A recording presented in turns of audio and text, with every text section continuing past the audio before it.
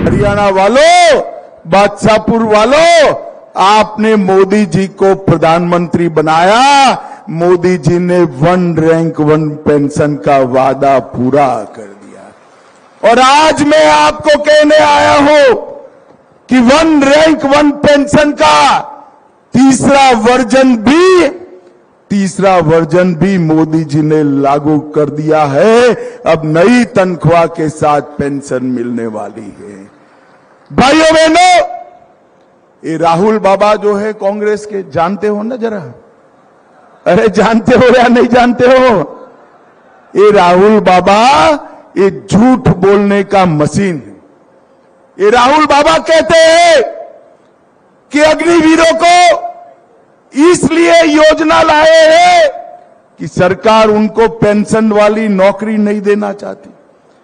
अग्निवीर योजना अग्निवीर योजना केवल और केवल हमारी सेना को जवान रखने के लिए बनाई रही मैं आज कहकर जाता हूँ, हरियाणा की माताओं को, बहनों को, आपके नौ निहाल में सेना में भेजते वक्त मत झिझकिएगा।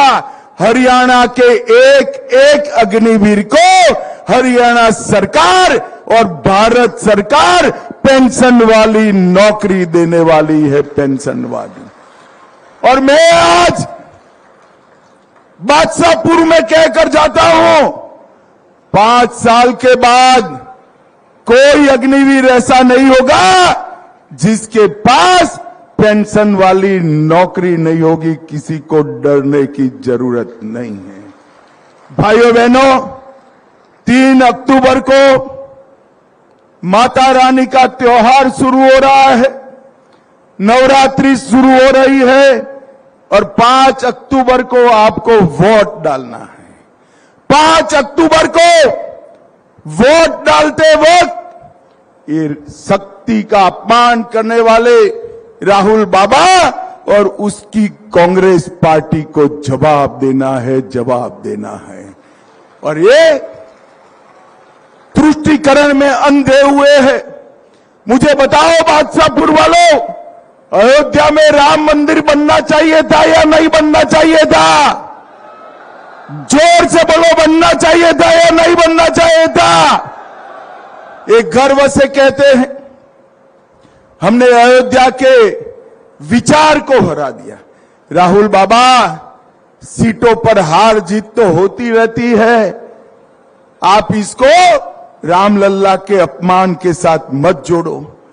आपकी पार्टी ने साढ़े पाँच सौ साल से रामलल्ला टेंट में थे अस्थाई मंदिर में थे, कुछ नहीं किया। मोदी जी ने मोदी जी ने भूमि पूजन भी किया, मंदिर भी बनाया और प्राण प्रतिष्ठा करने का काम भी किया।